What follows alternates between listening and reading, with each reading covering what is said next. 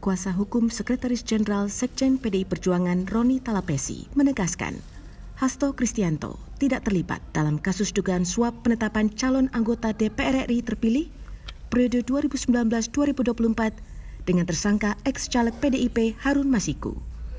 Roni menyebut di fakta persidangan mulai dari tingkat pengadilan negeri hingga tingkat kasasi, kliennya tak terbukti memiliki kaitan dengan kasus Harun Masiku. Hal ini disampaikan Roni usai mendampingi Hasto menjalani pemeriksaan sebagai saksi di Gedung Merah Putih KPK Senin 10 Juni. Dari para tersangka ini sudah diuji di persidangan. Dari tingkat pertama pengadilan negeri sampai kasasi.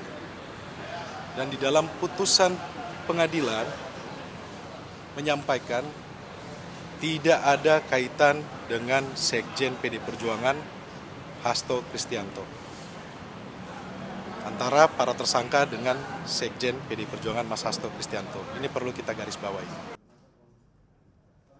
Roni menambahkan, Hasto sama sekali tidak mengetahui lokasi Harun saat ini dan pihaknya akan menyerahkan hal-hal terkait keberadaan ex-kader PDI Perjuangan tersebut pada penyidik KPK.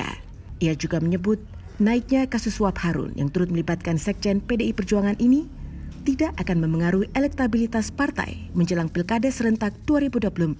Adapun mantan politikus PD Perjuangan Harun Masiku menjadi tersangka kasus suap yang melibatkan dirinya dan anggota KPU Wahyu Setiawan. Hingga kini Harun menjadi buron KPK. Dari Jakarta, Muhammad Harel, Asfar Muhammad, Kantor Berita Antara, mewartakan.